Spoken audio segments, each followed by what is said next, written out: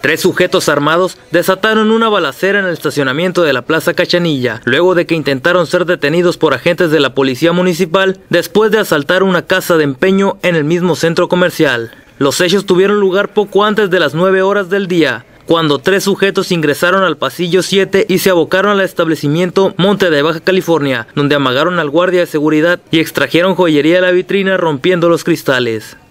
Un cuarto involucrado esperaba a los tres asaltantes a la salida de la plaza a bordo de una camioneta Ford Freestar color arena con placas de Arizona, la cual cuenta con un reporte de robo en Estados Unidos. Al ser sorprendidos los asaltantes por agentes municipales encargados de la seguridad de este centro comercial, los tres sujetos se dieron a la fuga, abandonando la maleta con la joyería a la entrada de la plaza y disparando en contra de los agentes, mismos que repelieron la agresión. Fuentes policíacas reportaron que fueron de 3 a 4 disparos los que realizaron los asaltantes en contra de los agentes al momento de darse a la fuga con un arma 9 milímetros. Aparentemente uno de los asaltantes resultó lesionado en el intercambio de los disparos. La camioneta tripulada por los cuatro asaltantes emprendió la fuga del estacionamiento de la plaza, saliendo por la puerta 7 del estacionamiento, rompiendo una de las plumas de las casetas de cobro. Inmediatamente al salir del estacionamiento, el vehículo de los delincuentes se ingresó de oriente a poniente al callejón Zaragoza entre calle D y E, lugar donde descendieron de la camioneta, dejándola encendida con las llaves puestas y con las puertas abiertas. De acuerdo con testimonios, los cuatro sujetos descendieron de la camioneta e ingresaron en una Ford Explorer color blanco, conducida por un quinto involucrado que se encontraba estacionado sobre la calle E para posteriormente huir con rumbo desconocido.